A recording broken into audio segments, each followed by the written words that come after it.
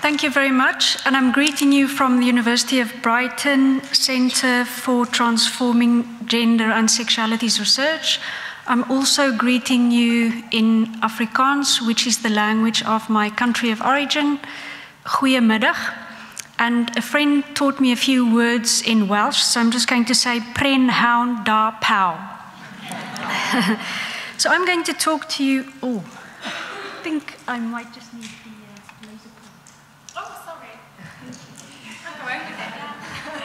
Thanks.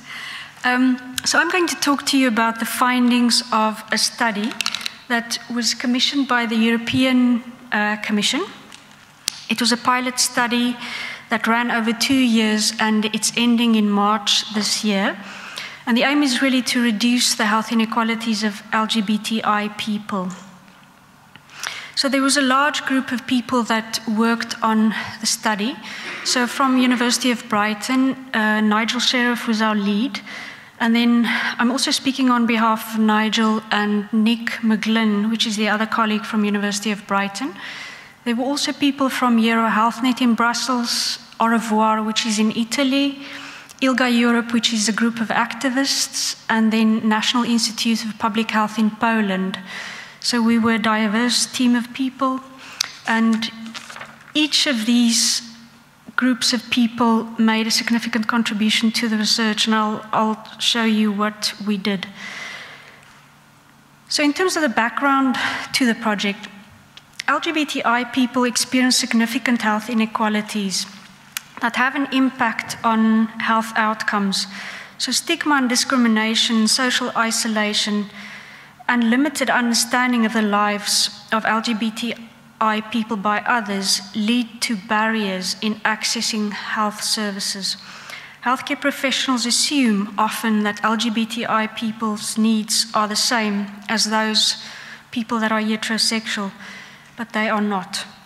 Many um, health inequalities are preventable so, member states and the European Union must work to develop high quality health services that are equally accessible to all. So, the objectives of this study were to gain a better understanding of the specific health inequalities experienced by LGBTI people and to gain a better understanding of the barriers faced by both health professionals in providing care, but also the health, the barriers experienced by LGBTI people when accessing care. And then to raise awareness of the needs of LGBTI people and providing healthcare professionals with the tools and training to overcome these barriers. So the, the overall outcome of the project was really to develop a training package that will be available for all health professionals that they can use in their own environment to train other health professionals. And we've piloted this um, training package in six member states. So, just in terms of the components of the project, there were uh, five tasks. The first task was a literature review of health inequalities to determine what are the health inequalities and what are the barriers faced by health professionals and LGBTI people themselves. We also did a scoping review across 28 member states uh, to determine what's happening in each member state. And then we did a review of policy across Europe. The second task were we did focus groups in six countries with health professionals and LGBTI people themselves. First task was to develop the training modules and then to pilot the training package. And then the fifth task was really dissemination and evaluation of the project, which is coming to an end this month. So, the first task was a review of health inequalities experienced by LGBTI people and the barriers faced by health professionals in providing healthcare for LGBTI people. And the research reports are available via that link, and hopefully, the training package will also be available on that link once it's agreed by the European Commission. So, in terms of the scientific review, so as mentioned, we did a scientific review, a comprehensive scoping review, which included the review of key EU and international grey literature, and then also rapid reviews in 28 member states. And all of that information we pulled together into a synthesis report. So, this is just the summary of the scientific review, the databases we've searched, and the inclusion and exclusion criteria to then finally identify 57 papers that we included in the review. Of those 57 papers, about 16 papers were systematic reviews or meta analyses. So the review really covered a large scope of um, literature and research. So then, one of the questions we addressed in the research is what are the causes of health inequalities? So, why do they exist? And LGBTI people often receive responsibility for their own health inequalities. For example, some people might say that gay men are sexually liberal, and as a result of that, they have higher rates of HIV. However, the root causes of health inequalities cannot be linked to any one individual factor. So the root causes are often in the social, political, and cultural domain. For example, where LGBT people have no legal recognition for their partnerships or they cannot get married, the incidence of things such as depression and anxiety in that country for LGBT people might be higher. So, if we then think of what the root causes are, it's often a combination of, of various factors, including cultural and social norms that preference and prioritize heterosexuality. As the previous speaker had identified, we also call that heteronormativity or gender normativity for trans people, minority stress, victimization, discrimination, which could be both individual but also um, institutional discrimination, and then stigma. And sometimes these factors combine with broader cultural and social factors to create health inequalities.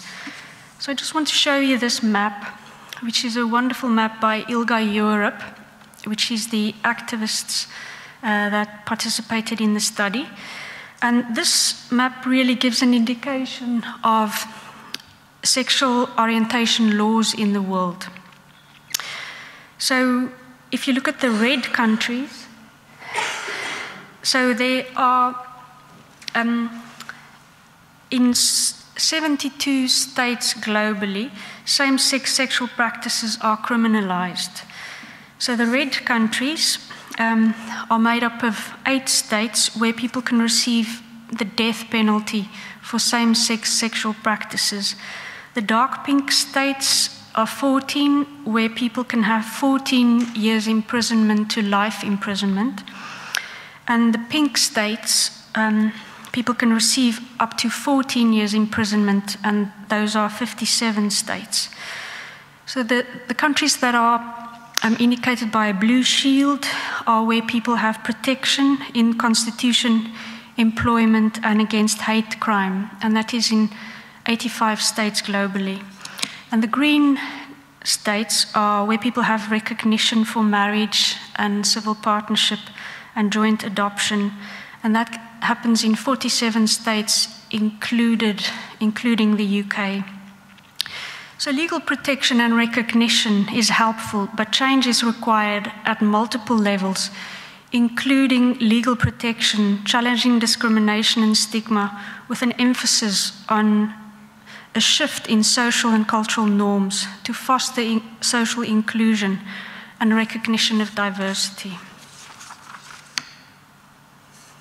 So then I'm just going to share some of the findings of the scientific review with you, and it's very hard to choose what findings to share and what not. So this is just the keyhole vision of some of the findings. So what are um, the root causes of health inequality. So, this is an example of heteronormativity. Uh, so, where being heterosexual is assumed as the status quo or the only way of being normal. So, sometimes the actions of health professionals may unintentionally be disrespectful or insensitive towards LGB people. So, for example, a lesbian woman from Lithuania said, after experiencing the first symptoms of an illness, I feel huge emotional stress because I knew after turning to a healthcare facility, either I will have to come out as a lesbian and shock my doctor, or I'll have to conceal the fact and face many misguided questions. As long as I have the choice, I will stay home and will try to treat myself independently. The healthcare sector is alien, unsafe, and not understanding my needs. So, then in terms of the inequalities for LGBTI people, and they occur at multiple levels, including both physical and mental health. So, lesbian, gay, and bisexual people were two to three times more likely to report enduring psychological and emotional problems compared to the general population, including things such as depression, anxiety, suicidal ideation, and substance misuse. So, in a study of over 2 million people, including 27,497 LGB people, 15% of bisexual women reported an enduring emotional or psychological condition, 18% of bisexual women compared to 12% lesbian women and 10% gay men. For heterosexual women, 6% reported an enduring psychological emotional condition, and 5% of heterosexual men. So, in terms of um, further findings, uh, lesbian, gay, bisexual people reported worse physical health compared to the general population. For example, things such as um, musculoskeletal problems, arthritis, gastrointestinal problems, liver and kidney problems for gay men. And gay and bisexual men showed an increased rate, rate of anal cancer. In terms of lesbian and bisexual women, they had a higher incidence of polycystic ovaries. 50% of lesbian and bisexual women attended cervical screening programs due to the perception that they did not need screening, placing them at a higher risk of developing cervical cancer. Amongst bisexual women, the reported cervical cancer rates were more than double that of other women. And then for intersex people, uh, dissatisfaction around health practitioners not gaining informed consent prior to normalizing surgery on minors linked to unnecessary medicalization of their bodies for some. And then trans people, their mental distress were also um, significantly raised. So, in terms of things such as depression in 51% of trans women, 48% of trans men, with some estimates as high as 64%, anxiety in 40% of trans women and 47% of trans men. Same goes for suicidal ideation. However, we were aware of certain protective factors, such as family and friends that acted as uh, social support. Also, uh, when transphobia was reduced, and where personal identification documents could be changed. In terms of the barriers LGBTI people face when accessing care, and I think we've heard some of these things um, in the previous presentation. So, in terms of communication, health professionals sometimes spoke in gender binaries, thereby excluding those who are non binaried. So, in terms of masculine or feminine or male or female or he or she, whereas some people identified as non binaried. Um, and documentation were often designed for heterosexual people only. So, as a result of that, the lives and the partnerships and sometimes the health needs of LGBTI people uh, was overlooked. And then, in terms of cultural and social norms, So, health professionals sometimes assumed that all people are heterosexual for lesbian, gay, and bisexual people, or sometimes people's uh, bodies were medicalized for intersex people, or sometimes people refuse, were refused care or ended care prematurely for trans people. In terms of coming out, we know that coming out can be highly beneficial for both LGBTI people and also for health professionals when health professionals come out um, to LGBTI people who access care. But some LGBTI people were scared because they feared hostile reactions from health professionals when disclosing their sexual orientation and gender identity. And the same goes for LGBTI health professionals. They were scared sometimes of, of being out in the work environment because of potential um, consequences. And then, in terms of lack of knowledge, practitioners um, didn't have enough specific knowledge. And then just, um, and I'll skim over this just in aid of preserving our time constraints. So, for example, in Czech Republic, some people weren't aware, health professionals, that there were older LGBTI people, for example, in nursing homes. So some of the LGBTI people said it felt as if they had to go back into the closet when they went into nursing homes uh, because health professionals weren't really aware that people were LGBTI. And also, surprisingly, in our rapid review of member states, we found that conversion therapy still happens in 11 member states. Um, and that's based on the assumption that homosexuality, bisexuality, or trans identities are mental disorders and should be treated. So, uh, a trans person in Slovakia just spoke about in the quote how uh, they saw a psychologist, and the psychologist um, was religious, and they suggested that they access um, a pilgrimage site that might help them be cured from their compulsion. So, as a result of that, the person was very sad and kind of withdrew from care and didn't see the professional again. So, then just briefly, the second task, which um, is the focus group study we did in six countries. Um,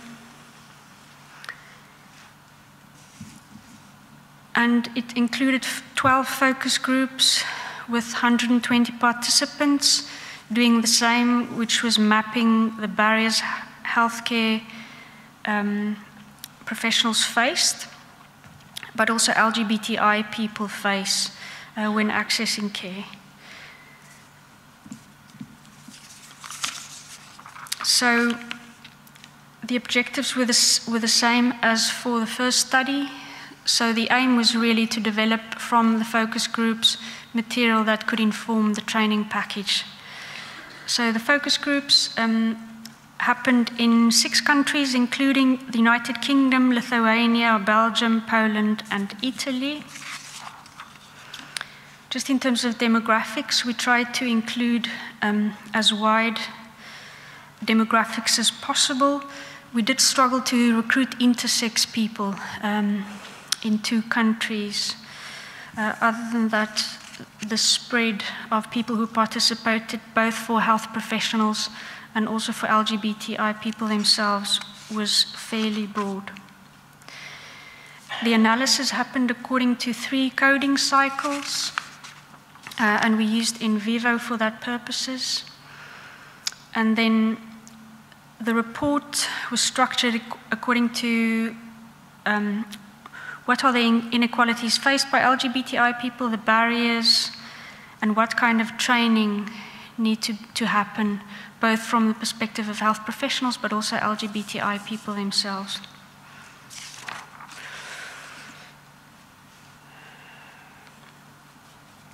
So I'll just give you time to read that quotation.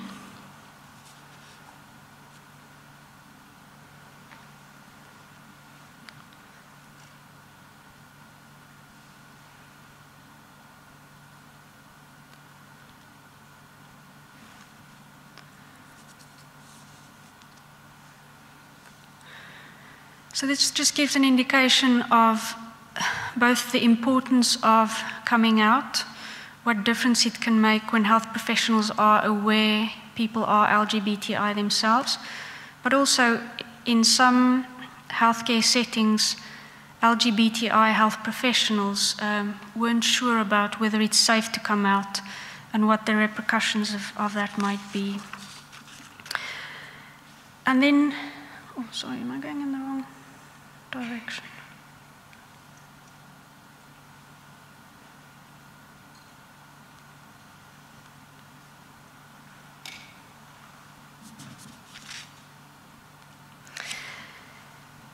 And then, what kind of training do LGBTI people think healthcare professionals need?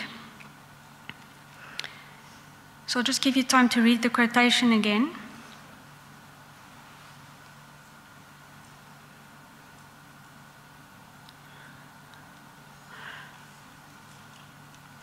So, some of the literature used in healthcare professionals' curriculums, um, and in this instance, a medical curriculum, in Lithuania was outdated and was still speaking about homosexuality as a disease. So it was still um, medicalizing homosexuality um, unnecessarily as a sexual disorder. So there's a need to update curriculums and training materials uh, to reflect current practice and, and also policies um, both in the UK and also within Europe. And then the last quotation.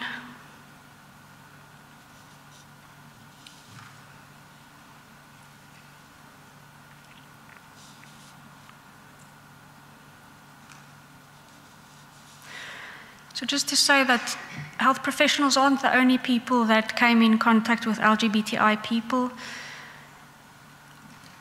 Additional staff, so for example, receptionists or parking attendants can make the work of other professionals much easier if they were included in training initiatives um, to become up to date and also to develop greater appreciation for gender and sexual plurality and fluidity. Then just in terms of the recommendations, so further research is needed to determine the general health profile, cancer burden, and health outcomes for lesbian women, bisexual people, trans people, and intersex people. So there is information out there, but they are mostly small scale studies. So we, we need larger scale studies to determine the general health profile. So LGBTI people should be included in research, also in policy decisions about health care delivery to respect um, their own health related concerns. In terms of practice, improved access to mental health services is needed where psychological support and talking therapies are provided for LGBTI people, particularly trans and intersex people. And then training of health professionals in all member states should occur to aid knowledge of LGBTI health needs so we've piloted the training package in six European countries, and we hope that this training package will be rolled out to all member states. We're not sure what's going to happen as a result of Brexit, but I trust our partners that worked with us on this study will take uh, the work forward. Oh, sorry, and then in terms of just um, frequency and organization. There's also a need for updating undergraduate and postgraduate curriculum and literature throughout healthcare professionals' education and continuous professional development. So, not only for those people entering the profession, but also people that have been in the profession for some time. And healthcare professionals and LGBTI people could work together to create institutional and wider change. So these are the reports, and they are available on the site, as I mentioned. And those are my colleagues from University of Brighton and also ILGA Europe that uh, worked on these two tasks with us. And then just to acknowledge that there were many people working behind the scenes who participated in the project, and we just thank them for their contributions. Thank you.